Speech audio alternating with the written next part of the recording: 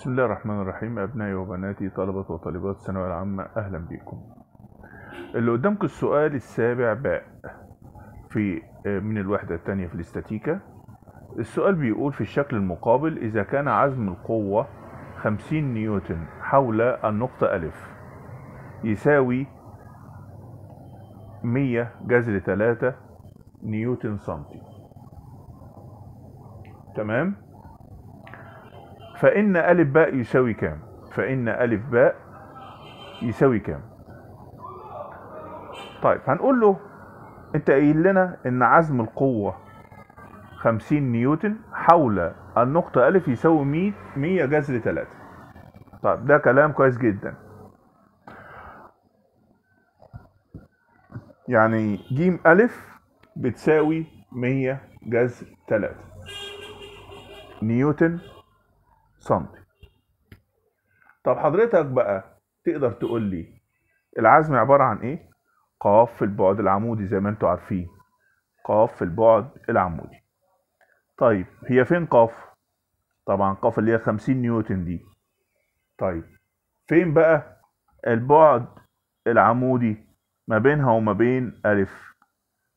طبعا أنت لو خدت الخط ده وامتد كده لحد الآخر طبعا دي 60 هتبقى دي 60 فده يأكد إن دي كام؟ 90 فطبعا فين البعد بقى؟ اللي هو ده.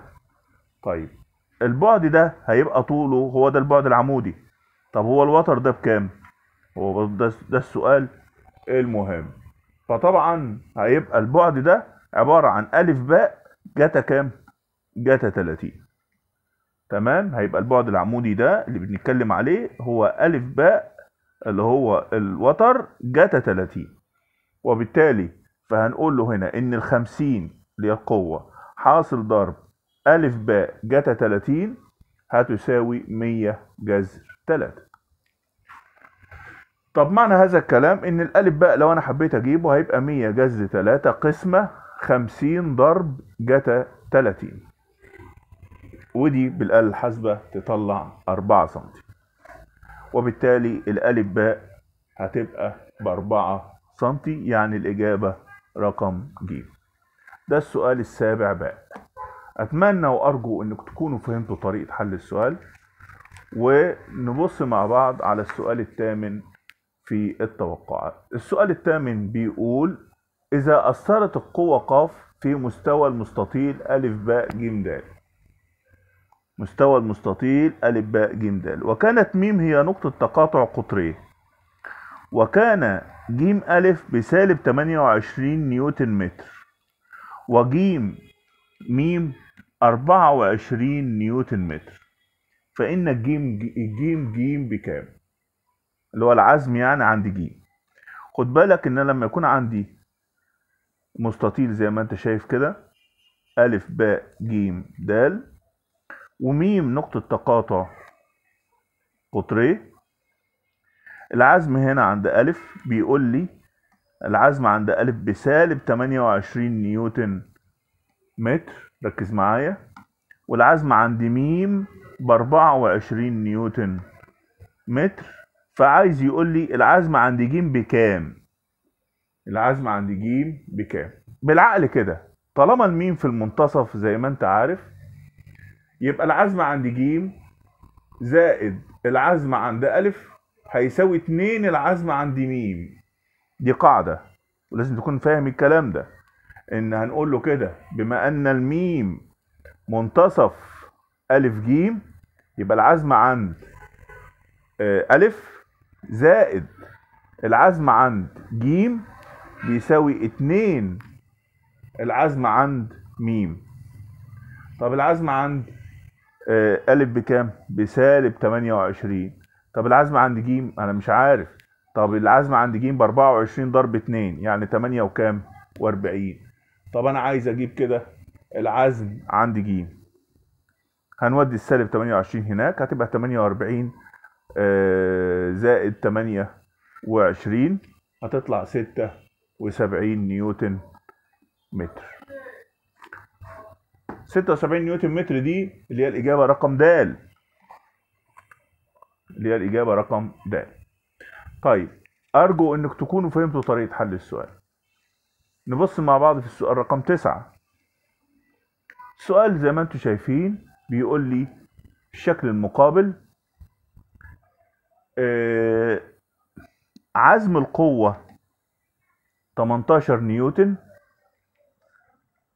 حول النقطة ألف عزم القوة 18 نيوتن.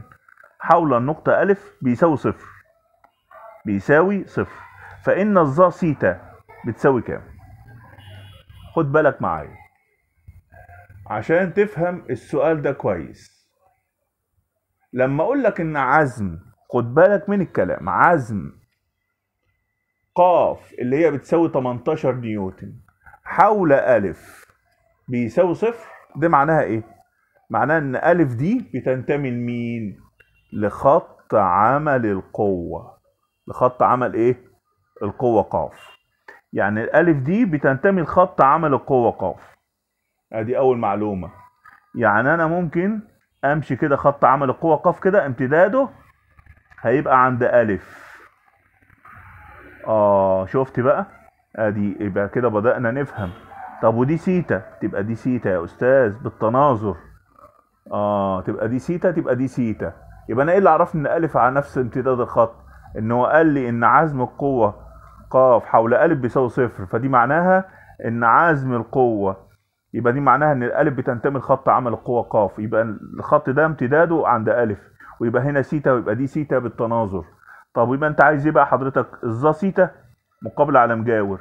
يعني اتنين على كام؟ اتنين على أربعة. يعني واحد على كام؟ يعني واحد على اتنين. طب دي معناها إن الإجابة هتبقى مين؟ الإجابة هتبقى جيم. أتمنى إنكم تكونوا فهمتوا طريقة حل السؤال. نشوف السؤال رقم عشرة مع بعض في الشكل المقابل. إذا كان عزم القوة التي مقدارها قاف حول نقطة واو بيساوي عزم القوة اللي مقدارها خمسين حول نقطة واو. فإن قاف بكام؟ ده سؤال مهم. يعني أنت بتقول لي عزم القوة.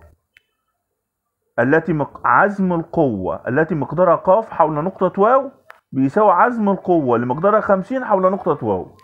طب ما تيجي كده نجيب عزم القوة اللي مقدارها قاف حول نقطة واو. هتبقى قاف ضرب مين البعد العمودي. فين يا أستاذ البعد العمودي؟ آه. البعد العمودي هيبقى ده. ليه؟ هتقولي ده هات امتداده كده لحد الآخر واطلع بالواو دي كده فوق. هيبقى الخط ده هو نفس الخط ده. طب والخط ده اللي هو هيبقى كام؟ الوتر 100 يبقى ده 100 جا 30 عشان هو قدام الزاوية 30 هيبقى 100 جا 30 يبقى دي أول خطوة. طيب بعد كده عايزين بقى عزم القوة اللي مقدارها 50 بالنسبة لنقطة مين؟ واو. هيبقى ده. هيبقى 100 جاتا إيه؟ هيبقى 100 جاتا 30 هيبقى هيساوي 50 ضرب 100 جاتا 30 يبقى هي دي الفكرة. هي دي الفكرة ببساطة. إن هيبقى بالنسبة لقاف البعد هيبقى ده البعد العمودي. بالنسبة لنقطة واو. هتقول إزاي مش هو ده؟ لا هقول لك ما هو. تعالى بقى هات امتداده كده. ماشي؟ هيبقى ده. طب ما هو الضلع ده هو نفس الضلع ده. افهم الكلام.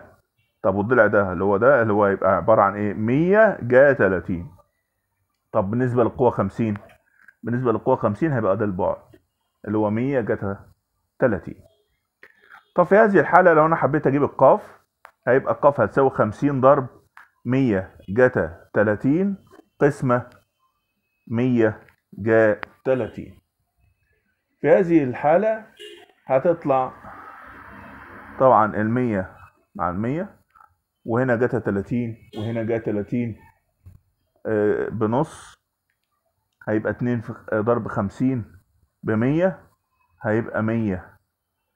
ضرب جذر تلاتة على اتنين هتطلع خمسين جذر تلاتة.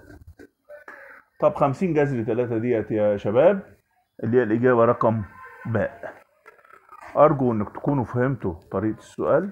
نبص مع بعض في السؤال رقم 11 بيقول لي إذا كان ألف دال بينصف زاوية ألف.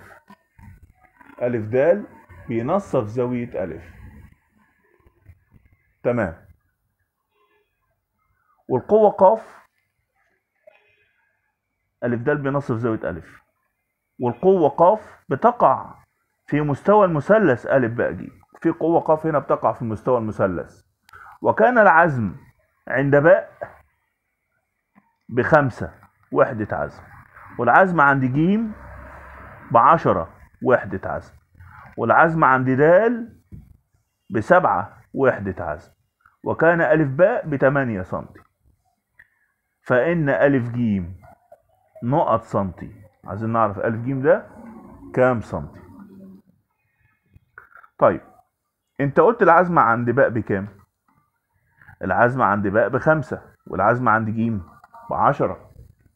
طب ده يفهمني إيه؟ هنقول له اولا أنت بتقول إن القاف القوة قاف تقع في مستوى الإيه؟ المثلث. يبقى عندي نقط باء ودال وجيم باء ودال وجيم على استقامة إيه؟ على استقامة واحدة. دي حاجة إحنا عارفينها. واضح أهو من قدام. طب وده معناه إيه؟ ده سؤال مهم قوي. أو الحتة دي مهمة جدا. معناها إيه بقى؟ معناها إن العزم عند باء ضرب. العزم عند باء ضرب دال جيم. ركز معايا. ضرب دال جيم زائد العزم عند جيم. ضرب دال باء. أيوه. بيساوي إيه؟ بيساوي العزم عند دال. ضرب باء جيم. ودي قاعدة إحنا واخدينها.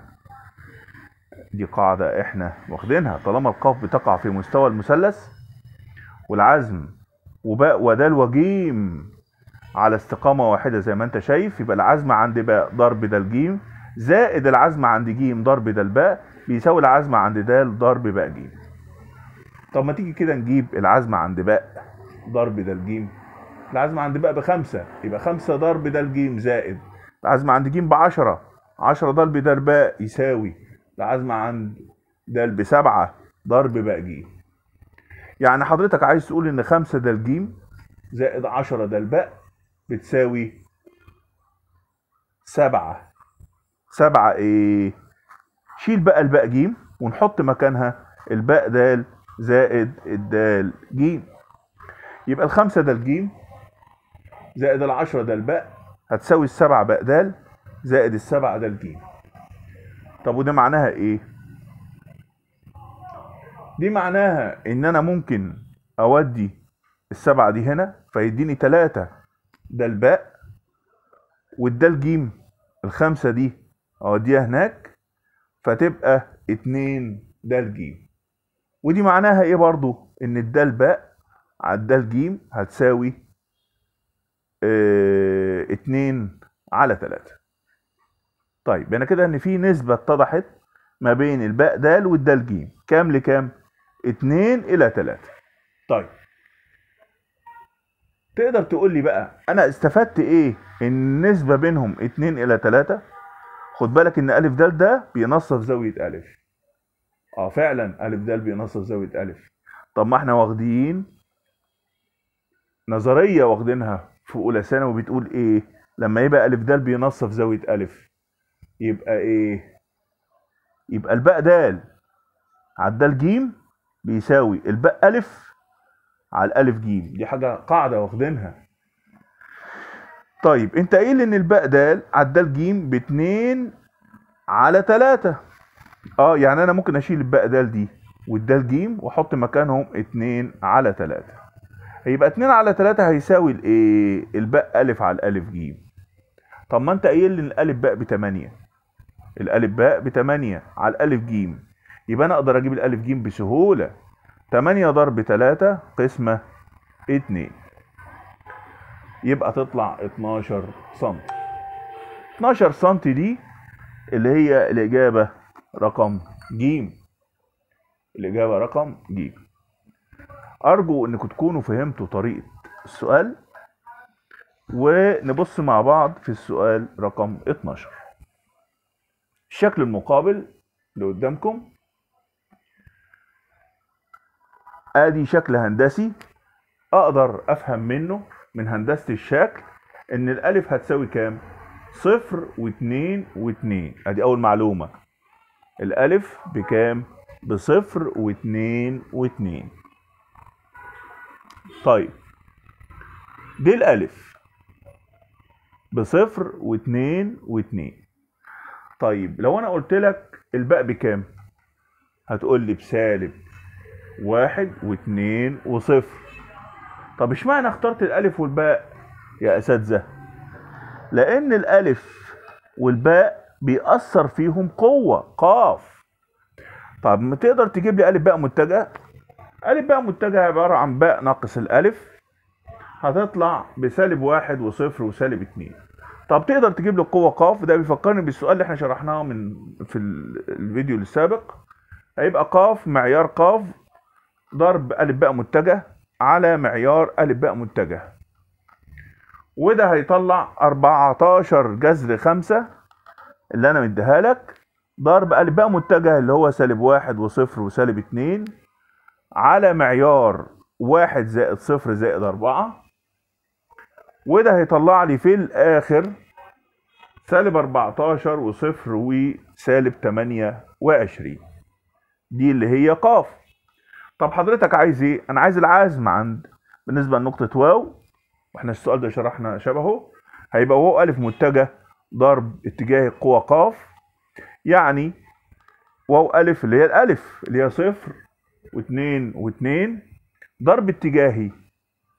آه، القوة قاف اللي هي سالب 14 وصفر وسالب 28 وده يطلع لو أنا جيت عملتها لك بالمحدد متجه س متجه ص متجه عين.